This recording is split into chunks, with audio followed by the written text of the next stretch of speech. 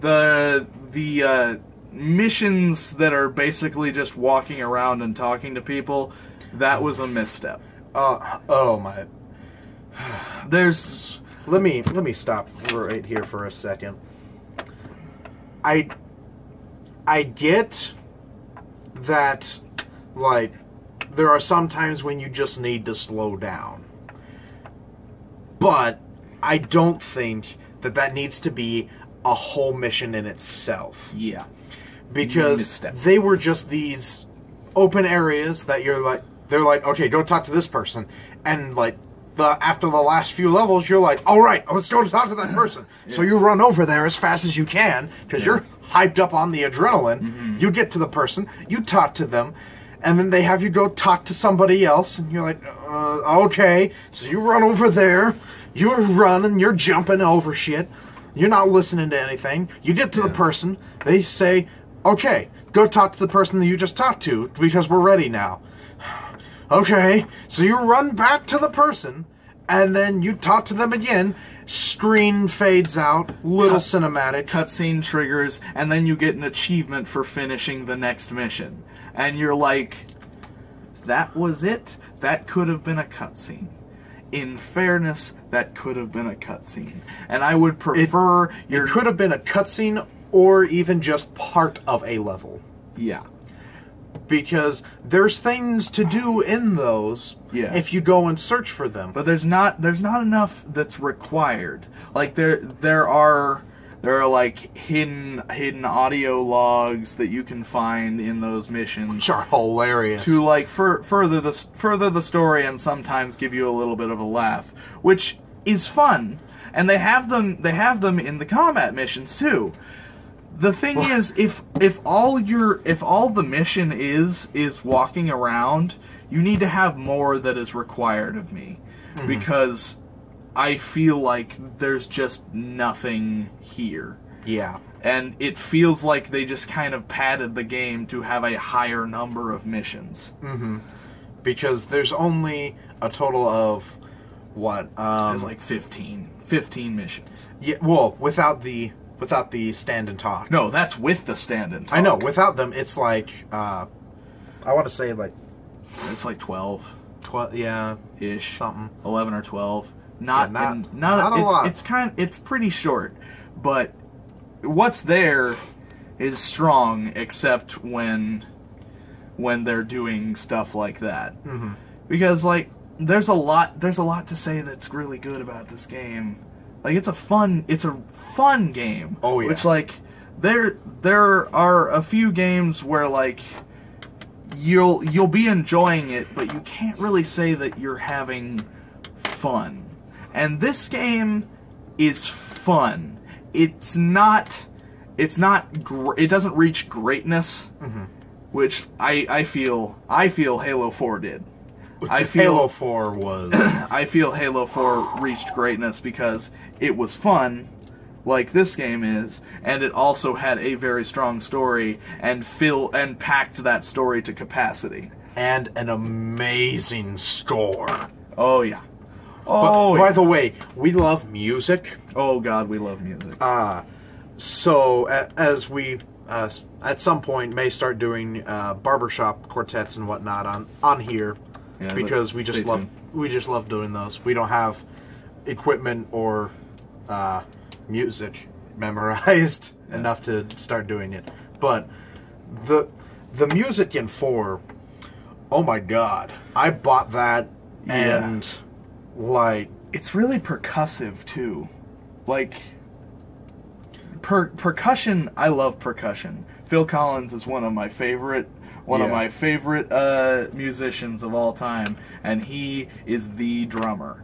And he kind of instilled in me a love of percussion and rhythm, and Halo 4 just kind of hit that sweet spot for me. Because Yeah. there's a lot of drums. But there's like it's not just the drums though as well. Like yeah. there, because I It's never just the drums, but like because there are some some of the songs in there that are just beautiful.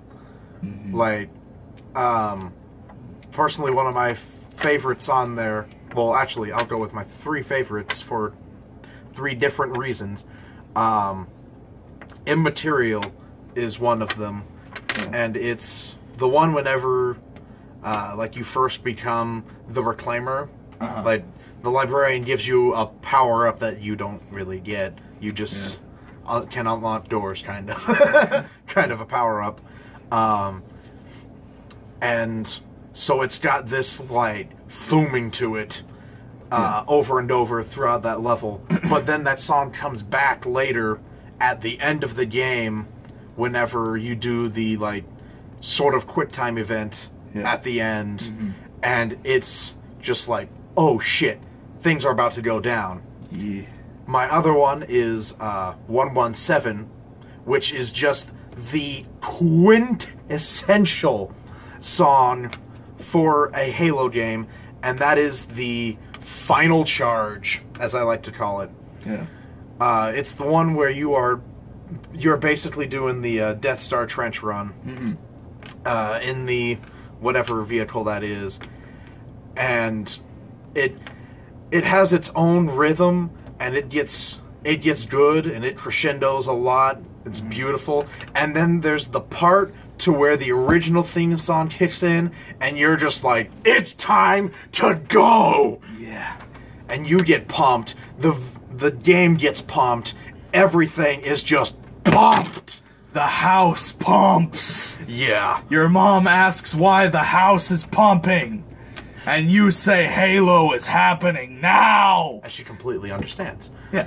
And then uh and then there was Green and Blue, which Yeah.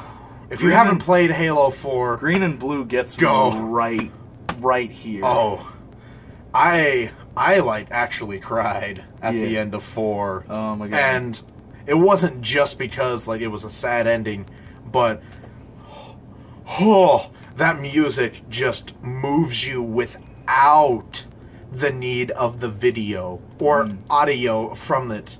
Like they could have taken both of those things out, credits roll because you knew what happened, and you would still be sitting there bawling. Yeah, green and blue gets me. It's gets me right beautiful. here. Look it up on YouTube if you want to have a nice cry. Yeah. It's one of those days you need some green and blue Mm-hmm. when you're feeling blue. And hey, So- Halo Five, Halo Five has has good music. It has it has good music, but uh, like we said before, it's never just drums. Mm-hmm. It's just drums. like it's very percussive. Yeah. Uh, it's it's more because this is a more action packed game than Halo Four was. Mm-hmm. Like it, the the story is just more like get ready, come on, let's go. Like it's it's a smaller scale, uh, smaller scale story than Halo usually tells. Which is odd because you go to a lot more varied places in Yeah. this one. Um, and where, like, four, you were in one place basically. Yeah. So it feels weird that Halo 4 was a bitter game. Yeah. Well, what's interesting to me is like it's kind of the way it was presented. Like the way it worked. Because like with Halo with Halo 5, they give you like they give you squad mates. Like they they embrace like kind of team team building between the Spartans mm-hmm. and it kind of puts you in a place like in a Gears of War game. Mm-hmm. Like Gears of War is very is a very small scale action game. Like Yeah. it's it's a got a smaller scale story. Your your goal is basically to come from here, figure out what we're doing, go there, kill locusts, beat the game, win the world. Yeah. That that's what that's what Halo Halo 5 kind of does. It's like, okay, we know what we're doing. We need to get the chief. Come on, let's go. And it's it's a Come on, Bominos. Everybody, let's, go. Yes, it's it's the Dora the Explorer of Halo games, which you probably won't hear any other reviewers call it that. But Only our fat faces. he, he kind of is though, because like you're, you Where are we going? This place? And like it's it it like keeps keeps the ball rolling Mhm. in a in a way that some some of the Halo games just don't, and it doesn't it doesn't explain itself, but it doesn't have to because it's being it's being an action movie this time around. Yeah. Like it's just being what it is. And that's fun. It doesn't work so much for the uh, narrative.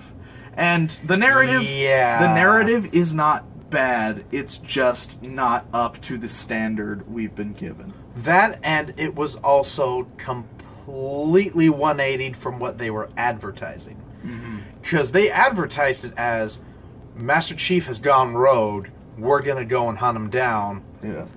And uh, there was also the flip side of it, like Locke is Locke is being an asshole. I'm gonna kill him whenever he finds me. Yeah. And like we thought there was going to be like a Spartan on Spartan civil war, Yeah. like Chief was being the guardian of the universe because he is. And they they But- did not they did not deliver on that. They It did not do that. Instead, they had the hunt in the beginning, and then sh- like bigger shit started happening, and they were still trying to chase the chief, but now he was like sort of in trouble. Yeah. Sort of because he's the Master Chief; he can take care of himself. Yeah. He's a big boy. He It's- is. He is seventy years old. It's fine. Yeah.